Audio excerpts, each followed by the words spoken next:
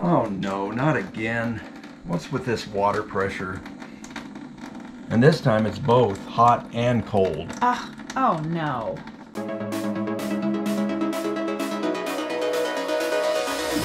Welcome to the channel. I'm Liz. And I'm Paul, and these are exciting times to push past fear, build confidence, and live amazing. And it can be a little bit challenging to live amazing when you don't have water pressure, particularly in the kitchen when you're trying to wash dishes. Yeah, my favorite thing to do around here.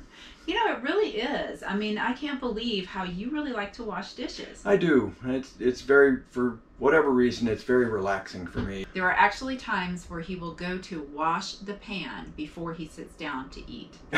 right? So he cooked Yeah. steak the other night and he had to wash that frying pan before we could sit down and eat, you know. yeah. While I- the steaks were resting. I take care of my cast iron.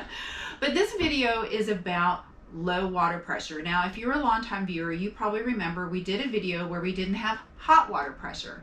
Now, today's problem is a little different. It's a little interesting because we have good pressure all throughout the house in the shower and the bathroom, but not in the kitchen. yeah, the kitchen faucet is just dribbling out. You can't do anything with it. And this information will help you no matter what kind of camper you have. Now, we happen to have a Grand Design 310 GK fifth wheel. So 2020, we've had it for about seven months. But this kind of hands-on stuff, you pretty much have to do if you're camping full-time or even for the weekends. You pretty much have to be a hands-on person. Yeah, and and I'm not a plumber. I never worked as a plumber. I did some basic plumbing around my house when I had my sticks and bricks house. Yeah, I don't claim to be an expert here, but this is really not that intimidating. We're going to take you through step by step because it's a little bit of a mystery, but we'll break it down and show you, you know, how to solve this. So just kind of sit back as we show you the different things that we tried. All right, so the first thing we did was what? We we went to the bathroom and we saw that we had good water out of the faucet and out of the shower. Yeah. So that told me that we had good house supply. There was no problem at the faucet outside the supply line, and it's getting through the Nautilus and all that without any restrictions. Yeah, and the Nautilus is our water diverter system, and different campers have different systems. Some have no systems. We thought, well, you know, if you're in a house, you know, there's like that screen or that end of the faucet that sometimes gets skunked up, and ours does not come apart, but we soaked it in vinegar. Right. Hmm The very first thing we tried, and what was the result of that? No change. no change. So then we thought, now if you've watched our recent video, you know that we had an issue with the island and the island collapsed. Yeah. Yeah, and we thought that when we put that back together, that I thought there was a possibility that one of the lines got uh, smashed. I took the floor panel out of the island to check the hoses, check the PEX lines. And what did you find out? They were fine. Yeah. they were fine. So They check fine. that one off the list. Yeah. So the next thing that we did was we looked at the dishwasher supply line. Yeah, since I was in there, the the hose that they put in, if you if you get the dishwasher um, option in this thing, Which we don't have. we don't have. But but This is my dishwasher. but, but the uh, hose is there, so I figure, well, let's see what kind of pressure we have at the hose. So I took the plug they they put in the end and turned the valve on, and and uh, and of course we had shut the water off outside already. Um, That's key. yeah, you don't want to do this with, with the water on outside. You want to make sure the water's off and, and, and you've cleared the pressure in the line. Open a faucet in the bathroom or open the faucet in the sink uh, to, to get rid of all the, the residual pressure in the lines. And then you turn it back on outside. Then you send somebody outside while the other person's in here and with a bucket, with that hose in the bucket, and uh, you turn the water back on and see what kind of pressure you have.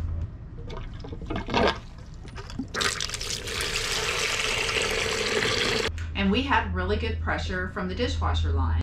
So the next step was to actually pull the hose out that goes up into the faucet. Yeah, right? the supply lines to the faucet. There's of course a hot and a cold, and uh, we took those off and did basically the same thing.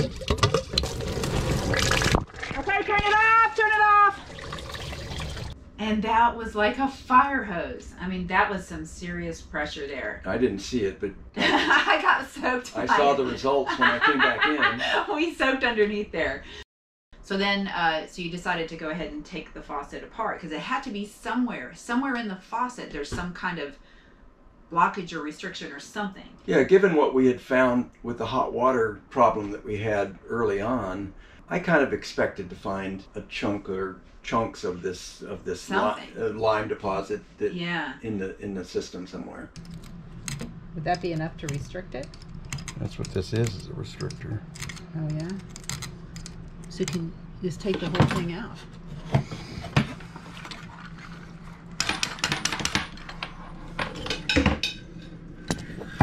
So this is a restrictor. Pretty sure. That's what it looks like to me. And it's kind of cloggy Huh? and it's clogged. It is? Look. There Oh Jesus, yeah. There's the problem. And it turns out there's this like uh, restrictor thing Yeah, that was gunked up. yeah. I'm surprised any water was getting through it.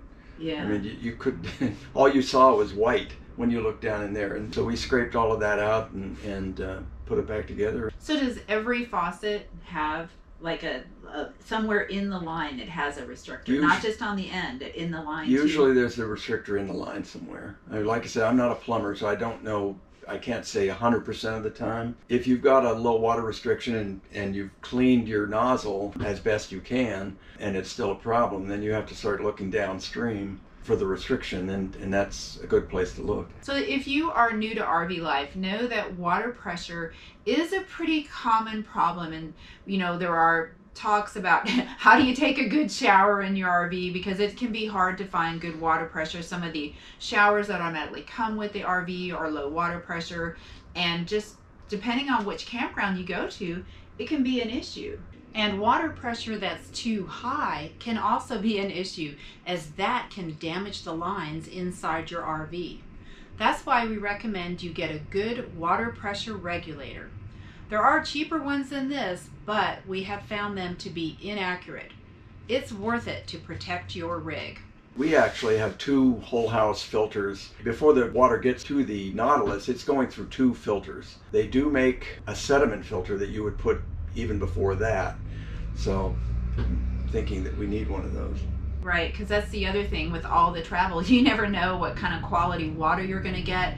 You never know from different campgrounds, and often early in the season, there's more likely for sediment. If they haven't been running that water for a long time, or maybe you get on a campsite that they haven't used for a while, you're also more likely to get some sediment.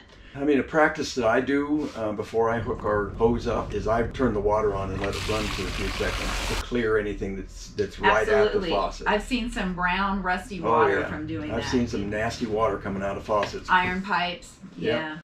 So tell me what tools that you used for this, and I know you have a really handy tool for getting that gunk out. What's that called? Yeah, just a pick tool. We're going to put links in the description. I got this thing 30 years ago, and it's it's one of the tools that I hope I never lose. So it's a pick set. Yeah, and you can get various kinds. The, the one I have uh, has one handle with four interchangeable pick styles. They come various ways. I like the one I have because it's such a compact piece. It doesn't take up a lot of space in the toolbox. So what other tools did you use? Your dikes? I did not use my dikes. I used I used a pair of channel locks, and that's it. And a screwdriver, a, a Phillips head screwdriver. Are there any other tools if you're going to be working on your plumbing on your rig? Are there any other tools that you really should have on board at all times? Well, if you've got PEX, like like most new rigs, it's a good idea to have a PEX clamping tool. You can get SharkBites, which require no tools at all. You just stick the hose in and and um, and give them a slight tug, and they're they're locked in and they're fine. They cost quite a bit more than the standard fittings that you get uh, with PEX systems, and and what I have is a clamping tool so that I can still use the the cheaper style fittings and the squeeze clamps. There's actually two different types of squeeze clamps. Talk to your hardware man. Yeah. Go to go to the hardware store and, and, and they they can show you what you need. or hardware woman. Yeah, there you go. well, I'm so glad we got that fixed. Yeah, and especially because today's a special day. It's Liz's birthday, her 58th birthday. It sure is. And I am so glad to reach 58 and see that life just keeps getting better and better. And also, I am still younger than you. Yeah, that's a low bar. Thank you so much for watching. We will see you in the next video. See ya.